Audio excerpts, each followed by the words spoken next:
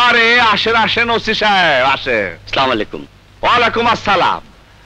আকবর OC সাহেবের জন্য হালকা পাতলা কিছু খাবার ব্যবস্থা কর যা। না না আমি খেতে আসিনি। আপনাকে ধন্যবাদ দিতে এসেছি। ওসি সাহেব কি যে কর? মাস্তান গো আবার ধন্যবাদ। মাস্তান গো ধরা দেবার জন্য আপনারা পুরস্কার ঘোষণা করেন। তার উপর আবার সাংবাদিক ভাই তারপর তো লেখালেখি করে একেবারে ফ্রন্ট পেজ কি যে বলেন আপনি এতগুলো অস্ত্র ধরিয়ে দিয়ে দেশের এত বড় একটা উপকার করলেন। কিন্তু আজ আজ আমি আমার নিজের একটা উপকারের জন্য আপনার কাছে এসেছি। আপনি তাই নিল আমি আপনার কি উপকার করব? আপনি একটু উপরে বলে আমাকে এখান থেকে ট্রান্সফার করিয়ে দিন। কেন? এখানে আমার কোনো কাজ নেই। সবাই বিচারের জন্য আপনার কাছে আসে। আপনি বিচার করে দেন। গুন্ডা বদমাস চোর ছ্যাচোর সব সোজা হয়ে গেছে। আপনার সাথে তো উপরের লোকজনের খুব খাতির।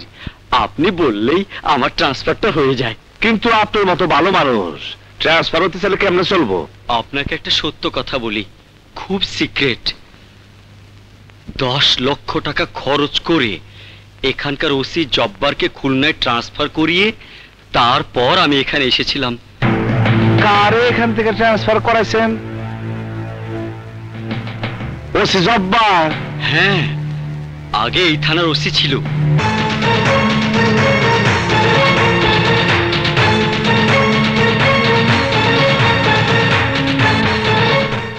জব্বার এখন খুলনায় আছে না? হ্যাঁ আপনি আমাকে খুলনায় ট্রান্সফার করিয়ে দিন ভাই। আপনি দশ লক্ষ টাকা দিচ্ছেন। আমি বিশ লাখ টাকা দিয়া ওসি জব্বার রে আবার এখানে আনব। আহ।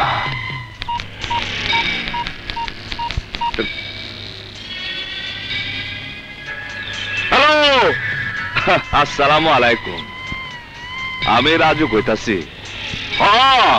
আমি রাজু। আচ্ছা শুনেন, আমার এলাকার আপনি খুলনা ট্রান্সফার করবেন। আর খুলনার থানার ওসি রে। আমার থানায় অরে আনতে হইব।